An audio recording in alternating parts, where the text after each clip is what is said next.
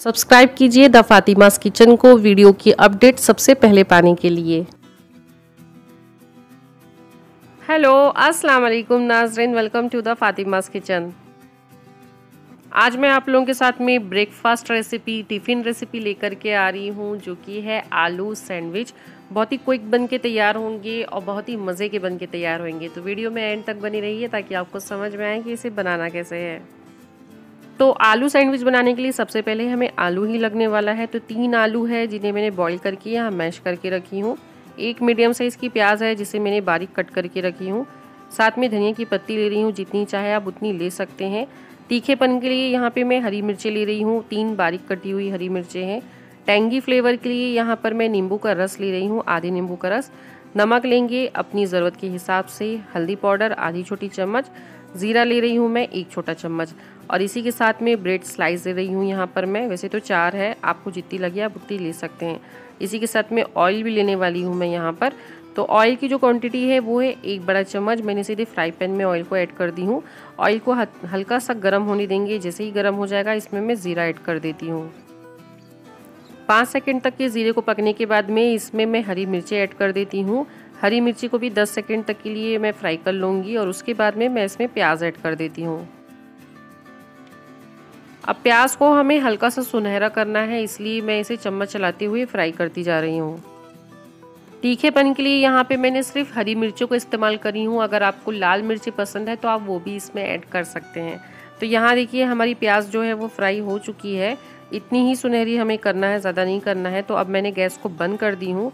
और गैस बंद करने के बाद में मैं इसमें नमक ऐड कर देती हूँ और नमक को भी अच्छे से मिक्स कर देती हूँ। साथ में हल्दी पाउडर भी ऐड कर दूँगी, क्योंकि अभी फ्राई पैन जो है गर्म है तो हल्दी हमारी पक जाएगी। तो यहाँ देखिए, हल्दी भी हमारी पक गई है तो अब इसमें मैं ऐड कर देती हूँ आलू। अब आलू को मैं अच्छी तरीके से मैश करते हुए इसमें मिक्स कर लेती हूँ।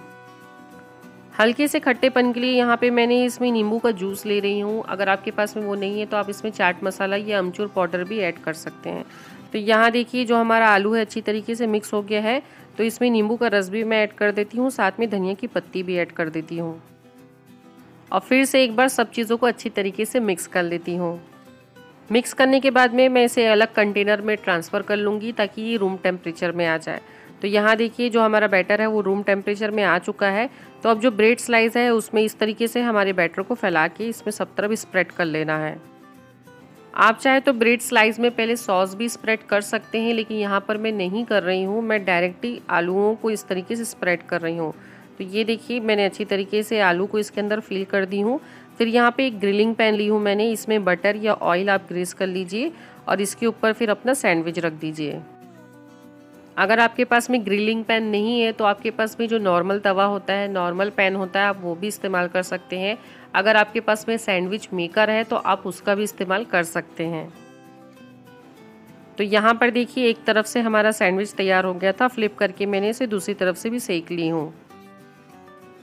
ये देखिए, हमारा सैंडविच दोनों तरफ़ से अच्छी तरीके से ग्रिल हो चुका है तो चलिए अब इसे निकाल लेते हैं और इसे इस तरीके से कट कर लेते हैं। मैं इसे दो हिस्सों में कट कर रही हूँ, अगर आप चाहें तो इसे चार हिस्सों में भी कट कर सकते हैं।